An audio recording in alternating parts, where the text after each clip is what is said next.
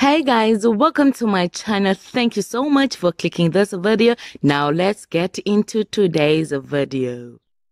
Hello guys, welcome to my channel. So guys, the entertainment industry right now, it is busy with reshuffling like nobody's business.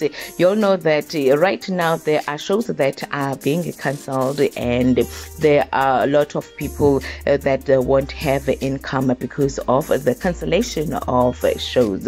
And on the other hand, um, there are people who are being fired on the shows. This means that the same thing will be happening to those without jobs. So, guys, this is what was shared by entertainment commentator Phil Mphela that uh, Shibe will be leaving Uzalo. So, this is what he shared. Uh, Siyabonga Shibe exit Uzalo. Shibe was rumored to have been fired from the soap back in June, but he denied the reports. Now, I can confirm that the actor is leaving the show. So, guys, on the other hand, it was also revealed that Baby Cele is leaving Uzalo, but in her case, it is temporarily. She is taking a break. So, guys, please tell me what did you think about this in the comment section. Thank you guys for watching this video. Please make sure that you do the right thing by commenting, sharing, subscribing, liking this video, and most importantly, hit the notification bell so that you do not miss out on anything that I am going to upload